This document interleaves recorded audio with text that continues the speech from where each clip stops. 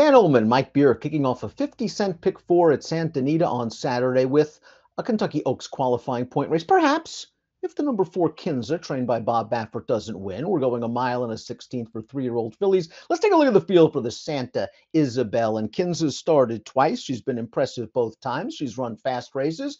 Hence, she is four to five. Yeah, just the horse to beat right back in here, Dan. I guess the question in this race is how easy can she possibly get off on the lead this time? Because she got off easy on the lead last time. It was somewhat surprising with a filly as talented as Copion. They just let Kinza walk on the front end last time out. We'll throw up our TimeformUS pace projector, and there she is. Kinza up front with the number five, She's a Tempest, who showed no interest in going after her in the Las Virgenes last time out, sitting in second. Right, but She's a Tempest does have plenty of speed if they elect to get more aggressive this time, Dan. And I don't see why they wouldn't want to do that here um, in a race, just to at least find out what they have. There are some other horses who could be forward as well, but it does seem like it might come down to the four and the five as far as the pace is concerned. The number one is Ultimate Authority, and this filly has gotten better since being stretched out around two turns. It looked like she had She's a Tempest's number two starts back, and she couldn't seal the deal. Here was her third lifetime start, however, and she's cruising into the stretch on the outside. And I'm curious as to your opinion here because, Mike, I thought you wanted to hang again. Yeah, I kind of agree with you. It, it, the main reason I think that too, Dennis, because the horse that she's fighting within the stretch here, that horse seemed like she went a pretty legitimate pace up front and was tired in the stretch. And, and Ultimate Authority doesn't want to put her away, but she's also never losing to this horse at the end of the race. And I thought it was a good performance. I thought she ran well two starts back, even though she came up a little bit short, and she still has forward to go. A lot of scope for improvement, and you have to like the fact that she's paired up 90 Beyers now and starts two and three. Could be a signal she could take another step forward, and she's far from slow from the gate. She could work out a nice pace tracking, ground saving trip. Shiloh's Mistress is the number two. This is a daughter of Vino Rosso, who ran at Turfway Park over their synthetic surface last time out. Graduated in nice fashion with Lasix. She won't get Lasix on Saturday, and she's back on dirt. She needs pace help. She needs pace. She's got to improve also. This is a, a filly who just hasn't run a race so far that's going to make her competitive in here. But I thought she looked good winning last time, Dan. I also felt like she ran pretty well in that uh, dirt route two starts back at Churchill. She had no real chance to win there, but she made a big move on the turning. She kept coming through the stretch. It feels like she wants to run all day long. There's a lot of pedigree here. Trainer Doug O'Neill showed some confidence in the three Pacific Rose last year, running her as a maiden in a couple of graded stakes races. Dropped her back in class and distance for this maiden optional claimer at Santa Anita last month. Pacific Rose had to work on a pretty solid pace, Mike, down towards the inside. It looks like she could be in trouble, but she's just best as the chalk. Yeah, she's going to gut this thing out here. Um, it, it's not a bad performance, Dan, and obviously they ran her finally in the right kind of a race there. It feels like she's in way over her head against this. Nice performance, though, however, fending off several challenges. Maybe we'll see some of this speed as she stretches back out around two turns. Kinza looks like the controlling speed for Baffert. First two starts, both impressive. Here's the win in the Las Virgenes. First time around two turns. She makes the lead. Copion, who's pretty good in her own right, is going to take her crack at Kinza, but I just think Kinza's tactical advantage was a little bit too much.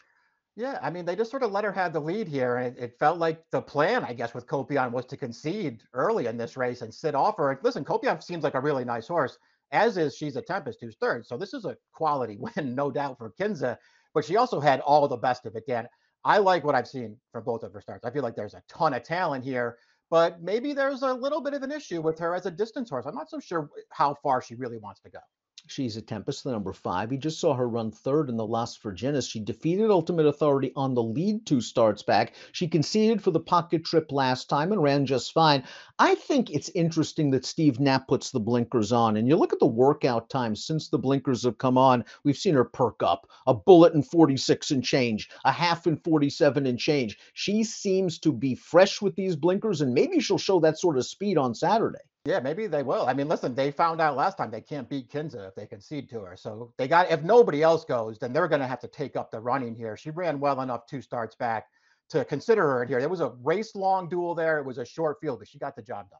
Here's an interesting alternative for a quality trainer in Mark Glatt. This is the six, Navy Belle, an expensive daughter of midshipman who won her career debut from off the pace in this race, going six and a half furlongs, a maiden special weight. And Frankie Dettori was aboard Navy Belle. And we see Navy Belle in here just attack the pace setter, turning for home, put Suro to bed pretty quickly, and goes about her business with a very strong 81 Beyer for a first time starter. Yeah, I, I liked everything about this debut. And they took her back early, but they didn't have to. She got out of the gate well. It seemed like she had speed, and the plan was just to sort of take her back. And they came running around the turn.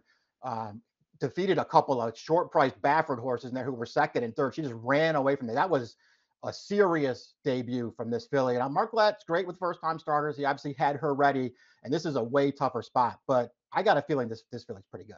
From this post position, Frankie's just going to break out of there, see how the speed develops, and if it goes fast, maybe this one can be running on at the end. Where's my ring is the number seven. This horse missed last time out. This was the one that Ultimate Authority beat. Again, she had her chances. She went a pretty legitimate pace. She just wasn't good enough that day, and now she faces a tougher spot. Yeah, and a tougher pace scenario too. It probably feels like because even I mean she went pretty fast. I thought in that most recent start, but even if they don't go as fast here, she's going to be up there with some quality horses, and it just doesn't feel like she's going to get loose this time. I still thought she ran pretty well in that in that last start. She's still a maiden after six tries. Her uncoupled stablemate, the number eight, If You Ain't First, You're Last. She's a maiden winner, but it was against $20,000 sellers. Here's that race right now was her first route attempt, going a mile in here. And as you can see, there are two horses in the race, and everybody else is far, far behind. Yep, I'm going to get the job done here. I have a feeling she's going to be last this time. she was first in this race. And again, she was game in the stretch, but it's just a miles and a world different from a class standpoint from this $20,000 maiden claimer to the Kentucky Oaks qualifying point race, the Santa Ysabel. Top pick time for the Santa Ysabel. Kinza, I think, is going to get through this, Mike, but I think it is kind of an important race. It's not a gimme race for her because she's going to have to stretch her speed another 16th of a mile with a couple of fresh faces. I agree. I just, I'm very interested to see what she does, though, Dan. She's looked really good in her first two starts. I think there's a ton of talent here, and I ultimately decided not to try to beat her in this race. Very interested to see what the six does, though. I think that filly's good. Curious to see what we get from the five. She's a Tempest with the blinkers on. Will they be more aggressive with her coming out of the gate? But Kinza is going to be the favorite. She is the horse to catch. She is the horse to beat. Four, six, two, one for Mike. Four, five, one, seven for me. It's the grade three Santa Ysabel. First leg of a 50 cent pick four at Santa Anita on Saturday. Good luck.